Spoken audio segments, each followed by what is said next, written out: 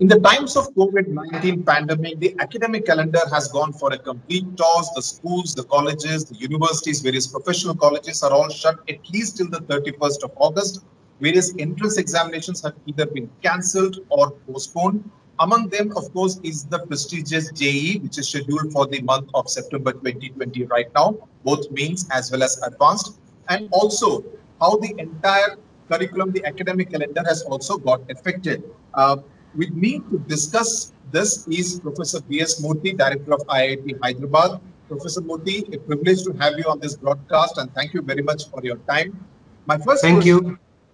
Given the atmosphere of worry and anxiety uh, over contracting a corona COVID-19 infection, several students and parents are now demanding that the exams which are scheduled for the month of September, first the JEE mains in the first week and then the JEE advanced towards the later half of September should be further postponed uh, because the situation is not deemed to be safe enough for them to travel to various examination centers and take this examination.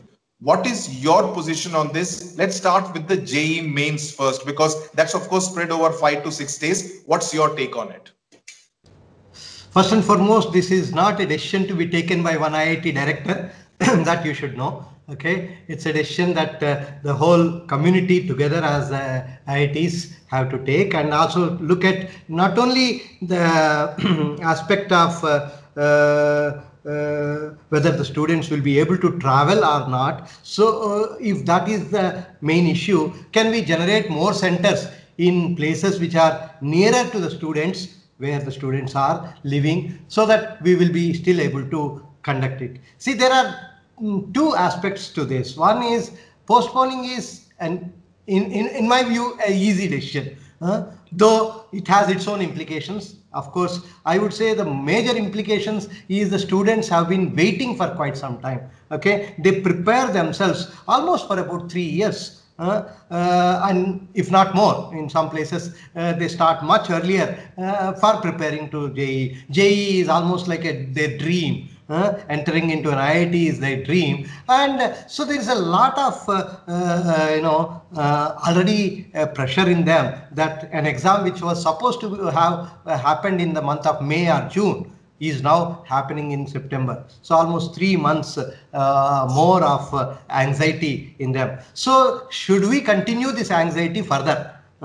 is is a point that and they're all just 17 year old kids please understand okay? They are not really matured kids uh, to take up this pressure of your age or my age. Uh, so this is a very important point to note. And um, then the second question is uh, can we really conduct it uh, in such a way that everybody's needs are reasonably taken care okay? One main problem is traveling okay with the travel restrictions that are there. So one of the better ways is to see if we can have more number of centers where this can be conducted. So the whole IIT, you know, community uh, uh, as directors, we had a meeting and then there was a small subcommittee formed which is discussing this in greater detail. And they will come up and uh, tell what are the way, measures by which we may be able to uh, conduct it. If they find out that it is very difficult to conduct it, okay, in spite of all the measures that you take, possibly it will be postponed. That's the decision that we want to take it at the end rather than at the beginning.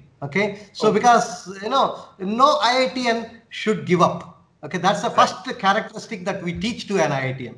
Okay. Absolutely. So, so giving up is weak-minded job. Uh, uh, so it's it's important to fight it out and see if there is a way to find solution. For every problem, there can be a solution. Right. Uh, uh, let, let, me just take you and give the example of the Karnataka Common Entrance Test. They conducted it on July 30 and 31, even though the Karnataka government was quite happy with the manner in which they conducted. There were, at least the visual suggested that social distancing went for a toss. Uh, the entire standard operating procedures were not complied with. The Karnataka government's argument was that what's the guarantee that the situation will be better in September or October in case if they are postponed? Do you think that the IIT ecosystem also is kind of thinking of the same kind of an argument? No, no, no. The point is, if we take up, I mean, IIT, you have been seeing that IIT, anything that uh, IIT has been doing, they do it with a uh, very, very meticulous planning. Okay, and that's one of the reasons why this is one of the most confidential operation that is conducted in the whole country. I would say. Okay, so so as a result, uh, you know, we, if at all it is conducted, it will be conducted with all the necessary precautions okay mm. including if necessary a ppe kit being given to a student uh, mm. so to that extent you know people are discussing every minute detail will be discussed in the mm. in the subcommittee and they will come up with ways provided they decide to conduct it and all uh, i mean we are even talking about how to separate the students sitting in two terminals okay uh, can there be a way to separate them uh, so is it possible through a PPE kit or is possible through some kind of a partitioning? So there are so many details, very, very minute details that people are discussing. And there will be uh, definitely, uh, my, my feeling is if we conduct it, it will be conducted very meticulously. Okay. I do not want to comment on anything else uh, which yeah. somebody else has conducted, but if IIT is conducted, it will be done with a proper planning. Okay, I'm sure all the students who are kind of gearing up and waiting for the JEE will be reassured listening to you right now. Absolutely, absolutely. Because their health is the most important for us. Okay. Yes. I mean, education, everything comes after the, your health is taken care. So that is very important. And we are also parents. It, they are like our kids. So as a result, as much responsibility a parent takes, uh, the same responsibility all of us as directors of IITs we take. Absolutely. Now that's as far as the IIT, I mean the JEE mains is concerned, which is at least spread over five to six sessions. The JEE advanced, which is scheduled for the end of September, will be a single day session. Does that pose a slightly different kind of challenge? So that there also we are discussing, can we make it two days? Okay, uh, can we make it two sessions on the same day? So there are, because uh, we have to see how many uh, centers are possible uh, with uh, whatever requirements that are needed for conducting a JEE advance so that we are first looking at is there a possibility of increasing the number of centers? Okay there was a lot of discussion on this happened when all IIT directors met uh, and that uh, obviously because TCS um, is conducting this okay? Uh, so we are uh, trying to talk to them to see if there is a possibility of increasing the number of centers. Or if you can increase the number of centers and handle them carefully then in one day it can be still done okay? So that the students need not have to travel long distance. And in every uh, major town or city if you can have a, a, node there or a kind of a center there identified with all the necessary precautions. If not okay. we will think of possibly uh, you know making it in two parts let's say same day maybe two parts or maybe two days. So uh, that is also being discussed but still uh, the decision is yet to come possibly by the middle of this month or so. We will have a clarity on that okay my final decision before i move on to the next part of my interview my final question is in case if it is postponed from september maybe to october november what kind of an impact do you see it having on your academic calendar? We do not want to postpone first of all Okay, that's uh, so 99% uh, we will not like to postpone it because we feel that already we have postponed. This has never happened in the history of JEE, uh, and so as a result, so even if uh, with this uh, with this particular, I would say September also, the sessions can only start maybe in November. Okay, or possibly first of December or middle of November, something like that. Okay, so so we are already gearing up for that. You know that means basically almost one semester we are going to lose. Uh, so yes. we have started thinking about can we uh, complete uh, the whole four-year course in three and a half years, for example. For example, every semester the student takes at IIT Hyderabad, if I can say, which is reasonably true with other IITs also, typically about 16 credits a semester the student takes okay? So uh, that uh, into uh, 8 will give you about 120 125 credits at IIT uh, Hyderabad. So if we can divide uh, that 16 credits of one semester by 8 you will get 2 credits. So if each semester the student takes 2 extra credits he may be able to complete everything by uh, seven semesters itself okay? With just two additional credits that means one parti- one course additional course possibly okay? Right, so so right. that if it can be done uh, this is one one possibility. Another possibility is to conduct some summer terms okay? Yes. so reduce the summer vacation for one or two years if necessary so that we also teach during that summer and ensure uh, that they will be able to complete but still summer we don't want to really uh, put it because most of the faculty keep waiting for the summer for doing a lot of research. Most of the phd students wait for the summer to come because that is the time where the teachers the faculty do not have much of a teaching assignment. So they focus a lot on research and iits are not simply teaching institutions okay? Absolutely. the uh, research is given as equal importance. In fact if you look at uh, iit hyderabad itself the number of masters and phd students is more than the number of btechs that we have. Okay. okay we are three almost 3000 students we have. Out of the 3000 students only about 1300 students or 1400 students are btechs so the remaining 1600 are all masters and phd so that is the level of importance that we give to that. So, And- and so we, we are looking at various models by which they will still complete it without uh, you know having to uh, spend one extra semester Right. okay Okay, now now let's look at the impact of COVID-19 on the entire learning process at IIT Hyderabad in specific. What are the changes that you have you have introduced and how would the new normal, as the phrase is now known, be at IIT Hyderabad? Yeah, so see, if, to be honest with you, when this uh, came, it came as as a kind of a, uh, out of the blue. Okay, Absolutely. nobody was originally prepared for it.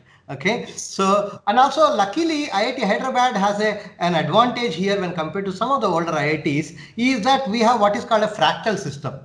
Okay, in a fractal system, typically in a in any uh, older IIT, if you have to do for some 15 credits, okay, they're all done as five courses of three credits each, typically. Okay, and whereas in IIT Hyderabad, the students can do 15 courses of one credit each. Okay. So we have a large number of one credit courses, two credit courses, uh, and also some three credit courses. So the students, uh, uh, the whole semester for us is broken into three segments. I mean, three parts. We call it as one, two segment, three, four segment, and five, six segment. And you can even take a half a credit course also at IIT Hyderabad. Half, one, 1.5, two, 2.5, three. That is how we have six segments we identify. So what has happened is by the time May middle this has happened, our one two segment was already over. Students have done a number of courses already. Three four segment also was almost at the end of it. Okay, so only the five six segment was kind of affected. So what we did was wherever possible, you know, we also knew that quite a number of students have suddenly gone home. Uh, some of them possibly even the, leaving their laptops possibly in their rooms okay uh, because they thought that after a week or so they'll come back after two weeks because this all happened during uh, Holi time. So so we knew that students may not have the access to uh, you know computation very much and also may not have the access to you know high and uh, you know speed network you know in in india a number of villages still have do not have a very high speed network. So what i i advise to all our faculty which they all cooper- cooperated with is to see if we can send them notes a small small uh, 1 mb file half an mb file that kind of thing. Notes ppts to the students rather than giving a one hour video lecture uh, which which will cost a lot in terms of uh, listening. Many a times for example uh, unless you switch off the video uh, you will not be able to get connected. In these online meetings i've been seeing that. Uh, so video really demands a lot of uh, uh, bandwidth whereas audio does not. So we asked our teachers to give audio lectures after sending the class notes. So 15 Right. minute audio lecture convert uh, now one hour of lecture into four segments or so and give audio lectures. And wherever possible if the student is uh, sending a mail saying that no i am not able to we even interacted with them on whatsapp. Okay? Okay. so variety of methods methodologies because one good thing about iits is iits completely give a autonomy to the faculty to deal with any situation because he teaches he sets the question paper he evaluates it so so there is a lot of autonomy to teacher so we Right. utilize this autonomy to teachers that is available to an extent to say that your goal is to reach out to every single student of the class how you Right. reach we leave it to you Okay? Okay. You find Right. out uh, the requirements of the students and ensure that you reach to everybody so that nobody complains to me. And the number But- of complaints that we have is very few uh, at the end. My final question, Professor Murty. So you have kind of highlighted the kind of flexibility that you're uh, adopting as far as the teaching process, teaching approach is concerned. In terms of at a very mental kind of a level, what kind of new sensibilities would you want your faculty as well as the students to embrace once a situation kind of gets back to normal or is in the path of getting back to normal? Sure. So first and foremost is I should, um, I mean, in addition to saying that we are trying to adopt to this, I should also say that engineering education cannot be uh, be done on an online mode. Okay, uh, because engineering education is there is a lot of hands-on learning. Okay, this hands-on learning is in the labs. Okay, starting from the workshop and things like that. A, a lot of hands-on learning goes in in the four years of uh, learning, and so those things it is almost next to impossible to teach in an online mode. Though we are attempting to develop modules to uh, do th- uh, through visual modes and things like that but still it is not like you know teaching somebody surgery you cannot teach online uh, how to do a surgery. One has to do it then only he will know. So it's like that. Uh, so that is something that we'll have to only do when the students come back. So so any uh, lab courses that we have during the semester we are mm, postponing them till they come back. So that so those particular small credits we will keep them when they come back and do it. So this is one aspect. The second is we are trying to slowly bring students in batches. You know first and foremost is we have seen that uh, in addition to the teaching what has got significantly affected in this uh, covid situation is the research okay? All our phd students we have about 900 phd students uh, at iit hyderabad. All of them have been sent back by 20th of march and almost four months now they have not done any experimental research. So those who are doing modeling or simulation they are able to sit at home and possibly do but at least 50% of the students do experimental research. So this 10th of this month we are bringing the first batch of students Hmm? So we have asked all the teachers, faculty, which of those 900 students who are doing experimental research, whom you think should come back to campus to be able to do their research. Huh? So they have given us a list of about 250. We contacted these 250 and are particularly focused on the final year students because for them only two, three months of experimentation may be sufficient to submit a thesis and that is getting affected significantly. Uh, so as a result, we asked all of them, and out of them, about 70 or 80 people said we would like to come quickly.